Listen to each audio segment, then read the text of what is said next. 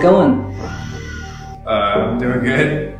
You having a good time? Uh, yeah. How'd you get in the mirror? I don't know if you can tell right now, but I'm talking to you from prison. Is this a a joke? No, I wish it was.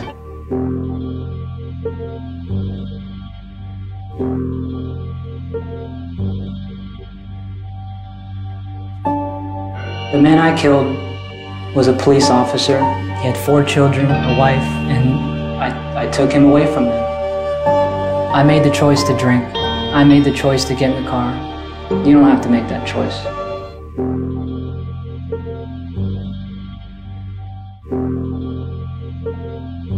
I hope that I'll reach out to somebody and stop people from drinking and driving, thinking twice about the next time they, you know, they want to get in the car. Should you be driving tonight?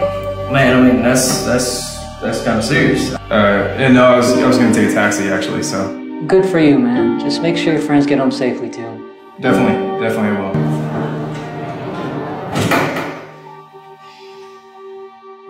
To someone who thinks that this would never happen to them, I'd, I'd say think twice about it.